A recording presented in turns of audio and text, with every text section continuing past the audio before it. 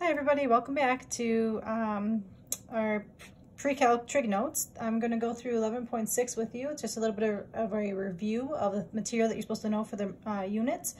Um, I'm trying this in landscape mode today. Someone suggested that possibly rotating the camera might be a good idea for these videos. So I'm just going to give it a try. Uh, please let me know, comment, uh, or send me a Wits mail if you prefer the portrait mode or the landscape mode for these videos in the future. All right, so uh, feel free to pause at any point in time so you can copy down the notes. Um, but here we go with our trig notes for today. So I started off by writing down the formulas you're supposed to know. So this would be a good time to pause the video and write down your formulas. All right, here I go here. Uh, so I'm gonna go through and just do some review questions with you. Uh, this first question, I'm actually gonna number these questions with different numbers. These are uh, actually gonna be questions from your homework tonight.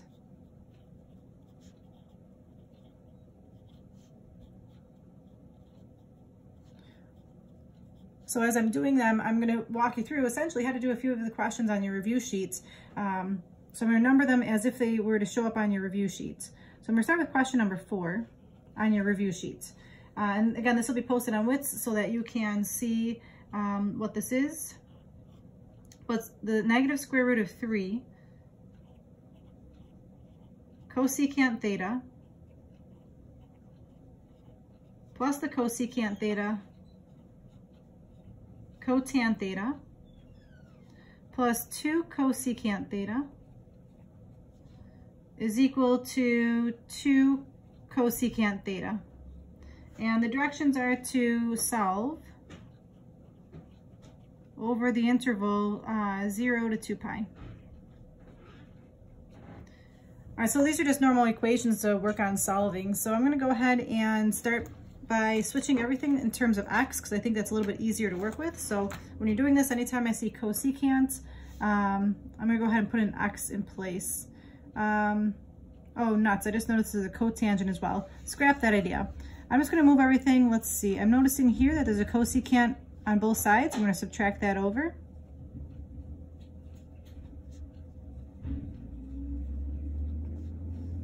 And in the process of doing that, they both cancel out. So that's a nice, a nice little um, thing happening here. So I got negative radical 3 cosecant theta plus cosecant theta cotan theta.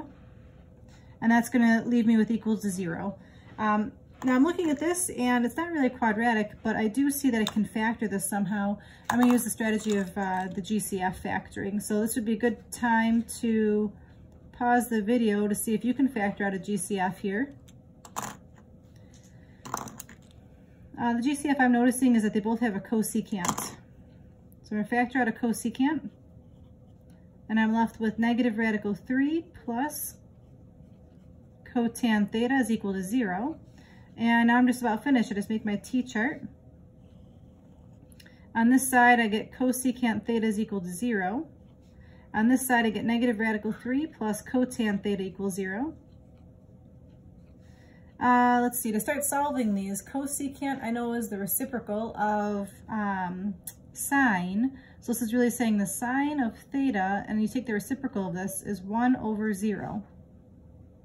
Well, there's a problem there. Um, 1 over 0 is an undefined fraction, so I'm just going to cross that off and reject that side. And again, these are my notes. I'm going to write down why. I'm rejecting this because this is undefined. Uh, all right, so let's move on to this side. I'm going to add radical 3 to both sides. I get cotan theta equals radical 3. And um, I know cotangent is the reciprocal of tangent, so this is really saying the tangent of theta is 1 over radical 3. And of course, at this point, we know to rationalize this. I'm going to multiply this by radical 3 over radical 3. So I've got tan theta is equal to radical 3 over 3. Okay, so um, this would be a good time on the side of my paper to just jot down that chart that we're all supposed to be really familiar with. So I'm going to go ahead and jot that chart down on my notes. So I've got pi over 6, pi over 4, pi over 3. You've got sine of theta, cos of theta, and tan of theta. Going straight across, this is 1 half, radical 2 over 2, radical 3 over 2. This goes in the opposite order. And then tangent is just dividing those out. So radical 3 over 3, 1, and radical 3. Again, that's a chart we should have memorized at this point. Just having it handy for this um, set of notes is a good idea. All right, so where am I going with this? Well, uh, at this point, I can do my SRQ strategy. So I'm looking at this and I'm noticing, okay, this is a positive value. I'm looking for the reference angle. tangent, radical 3 over 3, the reference angle is pi over 6. And Q stands for quadrant, so I want to know where is tangent positive. So I'm going back to that all students take chemistry, and tangent is positive in quadrant 1 and quadrant 3. So again, with these, I'm a visual person. I think that drawing a picture would be very helpful. So I'm going to go ahead and draw a picture of an angle in quadrant 1 with a reference angle of pi over 6. Uh, in quadrant 1, the angle is just the angle measure from the x-axis to the terminal side. So in this case, my first answer is literally going to be pi over 6.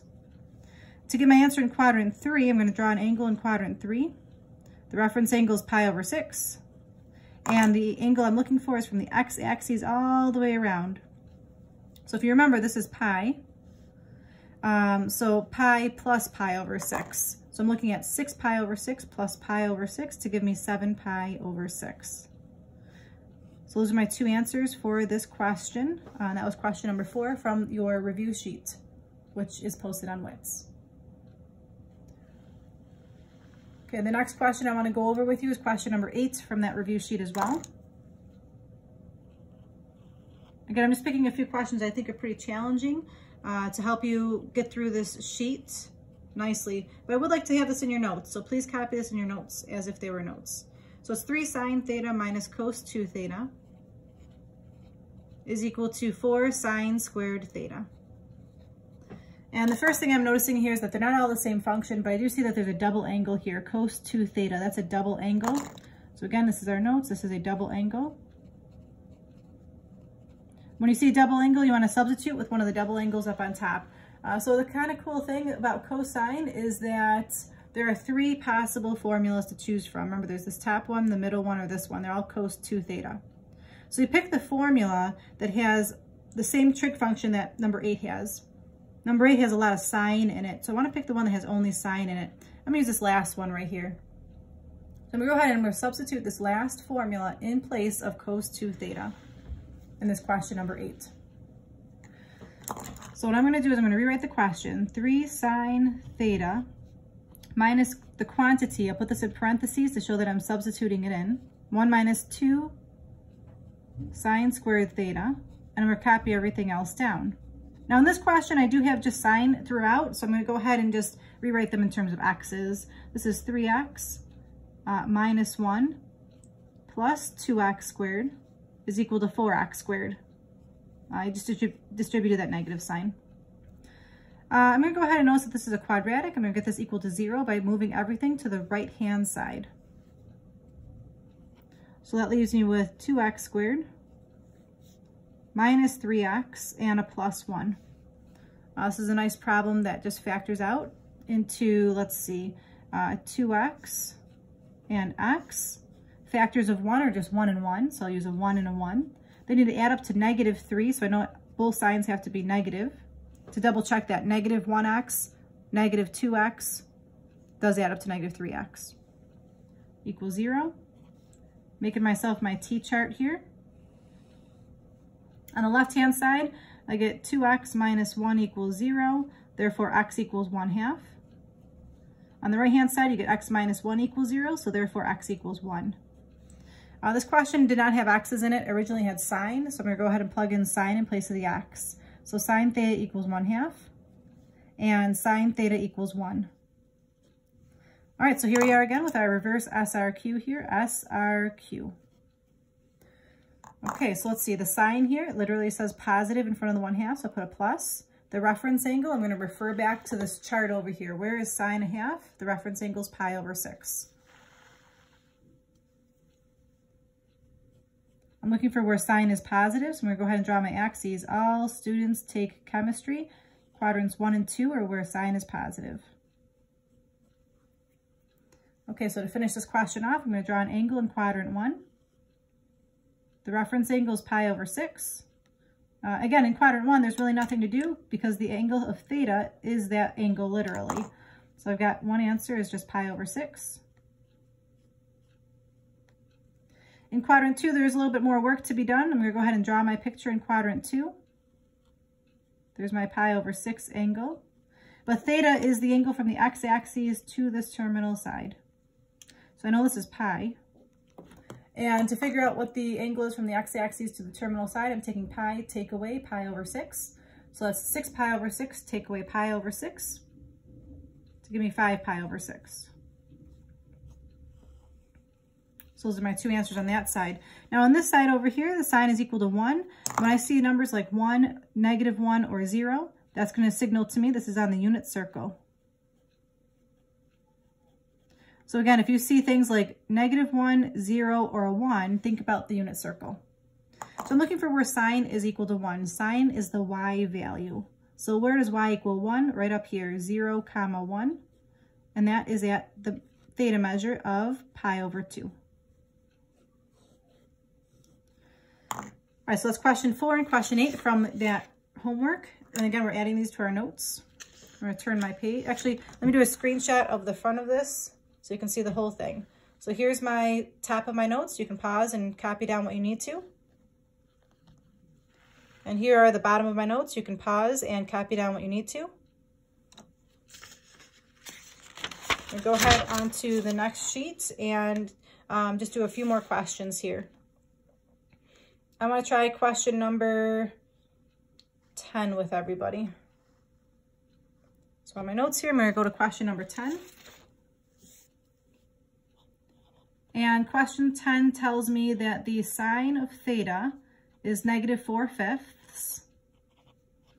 Um, and it also tells me where pi is less than or equal to theta is less than 3 pi over 2.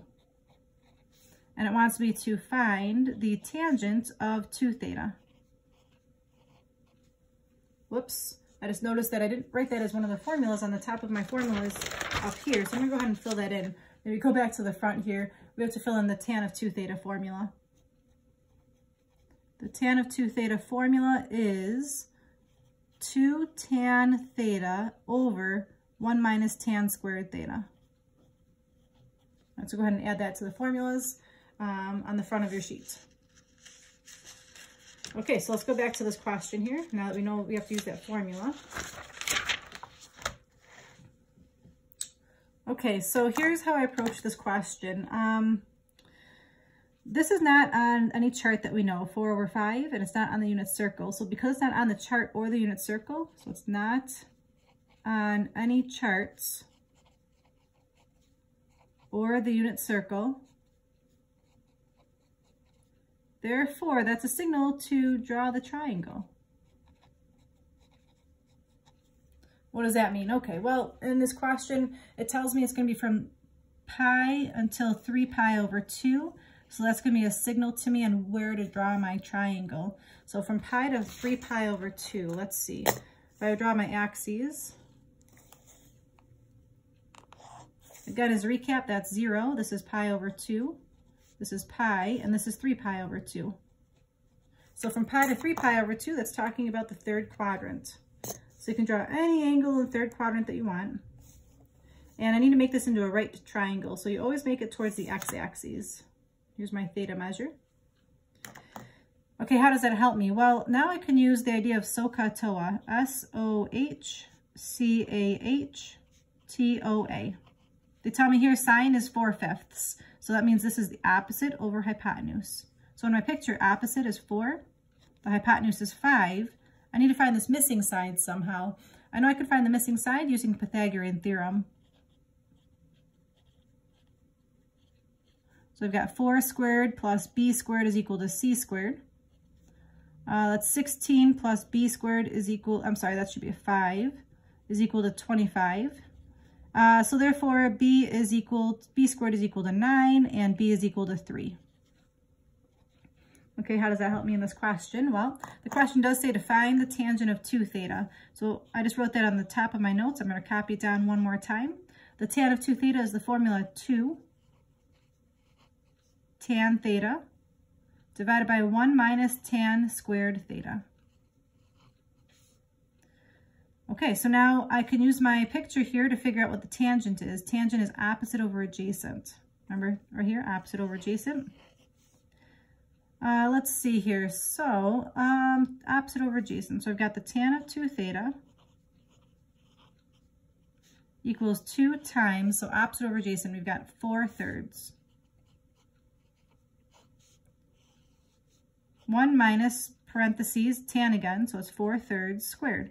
Uh, I do want to pause for a minute here and just notice what sign I'm choosing here. I'm intentionally um, choosing a particular sign, and it goes back to that concept of all students take chemistry. We're in quadrant three, so tangent's supposed to be positive. So this is supposed to be positive here because we're in quadrant three. Positive because we're in quadrant three. In question number nine, be very careful um, what quadrant you're in because one of those values will end up being negative because of that quadrant. All right, so now I'm just going to grab my calculator and just type this right on my calculator here. I'm to slide this up so you can see what my screen looks like. I'm to clear out whatever's in there. Alpha y equals 2 times alpha y equals again 4 thirds 1 minus parentheses alpha y equals 4 thirds quantity squared. Um, I just type it all in one step here to give me an output of negative 24 over 7. So no difficult math required, just knowing how to use your calculator.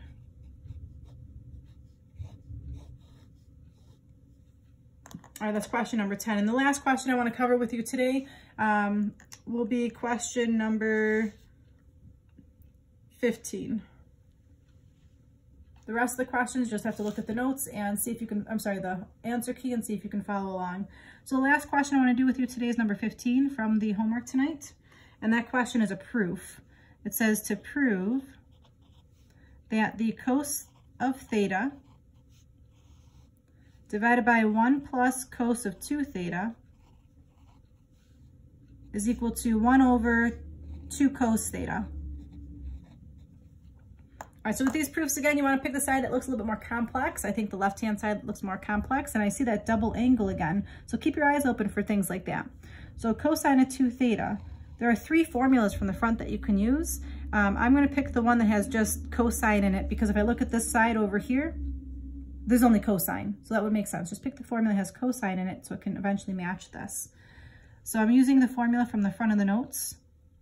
We're to leave the top the way it is. This is 1 plus, the formula from the front of the notes is 2 cos squared minus 1. And again, with the proof, you only manipulate one side. You don't manipulate both sides.